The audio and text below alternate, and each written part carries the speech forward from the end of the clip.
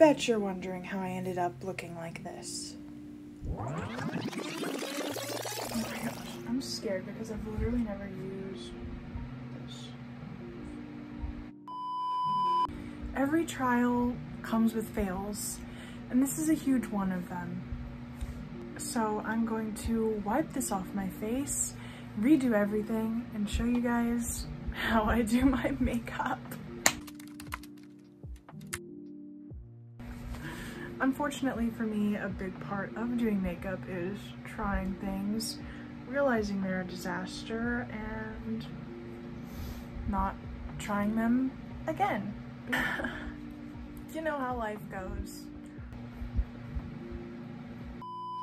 Hey guys, welcome to my channel. My name is Will and today I'm gonna be showing you guys how I do my makeup, of course, because for whatever reason, this is something that people have requested of me. They've seen my makeup and been like, how do you do it?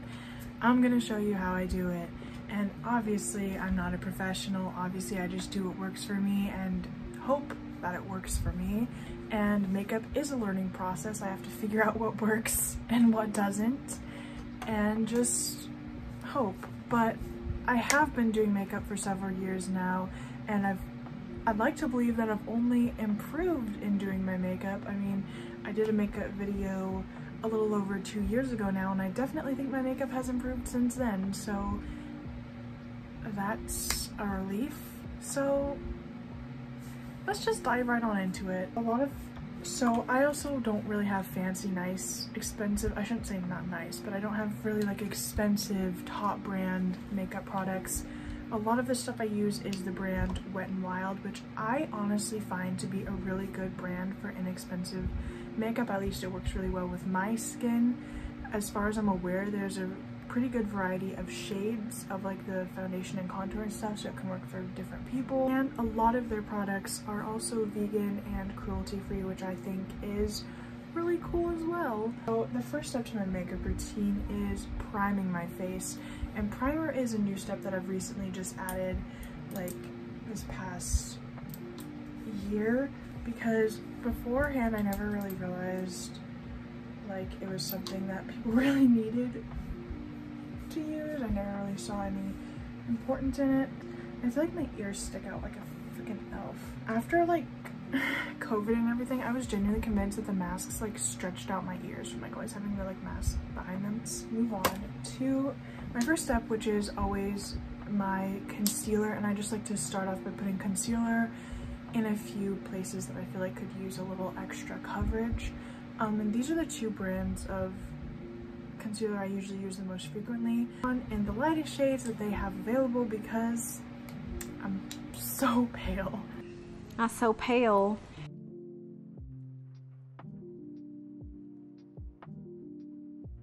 We're just gonna leave that be and we're gonna move on to my foundation. I'm sorry if the lighting's a little weird. I have my ring light on me, but then I also have to have my makeup mirror off to the side here so I can see what I'm doing.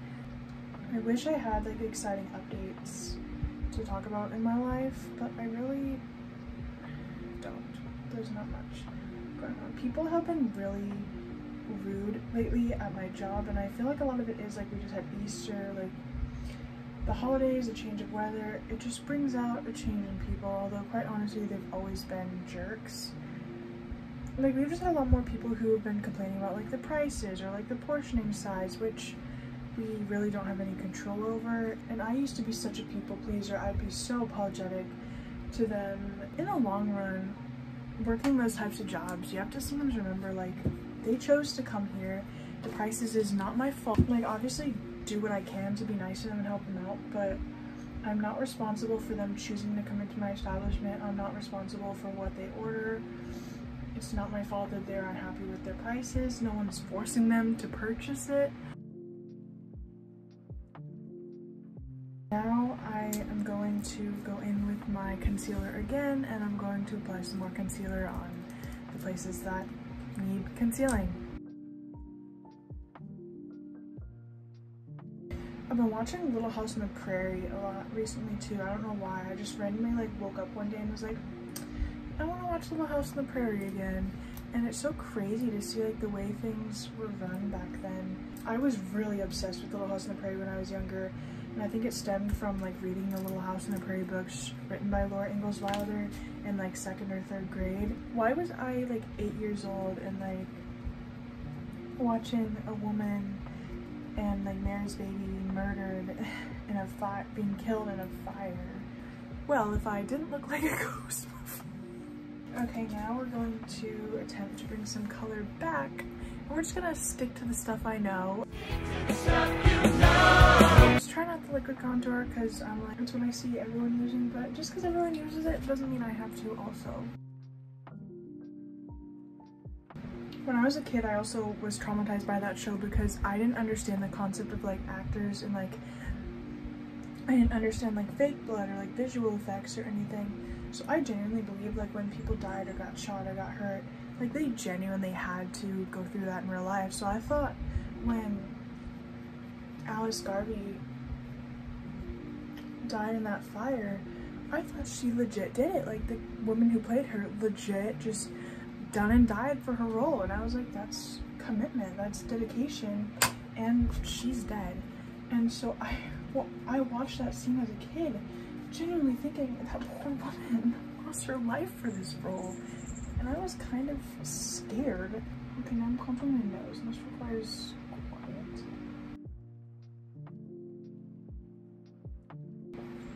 Bam Bam Chicken and Ham.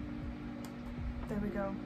I also just went through a huge phase in my life where I was obsessed with like prairie core and my grandma my dad's side of the family actually like to sew so she had like hand sewn me like rag dolls and then she'd like sew me matching outfits with my dolls. I know at one point I had this little bonnet that matched of my dresses. I always bought dresses that looked more like old-fashioned or something that I would legitimately wear if I was like frolicking on a print. Now I am going to move on to the eyeshadow and today I'm going to be doing more purple based look because I feel like it. By the way, look how cute my little brush holder as a little cauldron.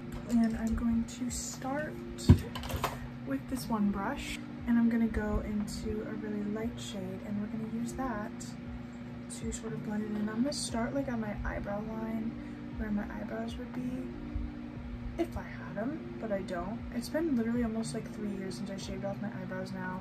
And let me tell y'all, I could not be happier because these brows were genuinely like holding back my makeup for so long. And it's such a stupid thing but I genuinely like it was one of the struggling points of my makeup and I just never knew what to do and nobody else knew what to do either. Like even when I had other people do my makeup for like occasion no one ever knew what to do with my eyebrows. I went through phases where they were really thick I went through phases where they were really thin. At one point I sh shaved a couple slits in them. And one time I was just like you know what for my more like alternative style, it'd work if I didn't have eyebrows. You know, they grow back quickly. It's not that deep. I'm gonna just shave them off. And one day, I just grabbed a razor and I did just that. I shaved them right off. And I feel like my makeup has been so much better and so much easier since. I'm gonna go into this darker shade and I'm just gonna start blending. I'm going to go in with my Morphe palette now and we're gonna go into some darker shades. I actually do like that, that's cute. Alright, we're gonna go with that. I am going to take the concealer and sort of, I guess, prime my eyelids. And then I'm going to go in with this once again. And I'm gonna go in with the cute little sparkly shades and pack that into the inner corner. I like that, and that's all that really matters. Now is when we're also going to go in with the eyeliner, and I use many different eyeliners. This is one that's dual-sided, so it has like a little shape on one end, and then the actual like precise line on the other. So this requires a lot of precision damn it, I forgot to put powder on. Half of my makeup is also just me forgetting things and then going back and doing them when it's probably too late. So we're gonna dip into my translucent powder, have some under the eyes, right under the contour, I guess what some would call baking the face. Basically just in the places that there's the most